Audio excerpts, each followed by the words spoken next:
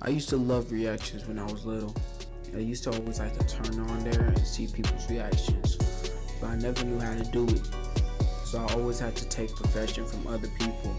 I used to like Suppo Bros and Struggle Nation, what they used to do. I even used to like The Loyalists and until I just started doing my own stuff.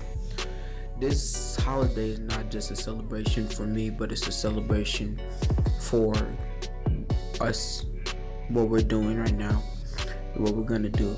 This is Unrated Nation, and 12 days of reactions is coming soon.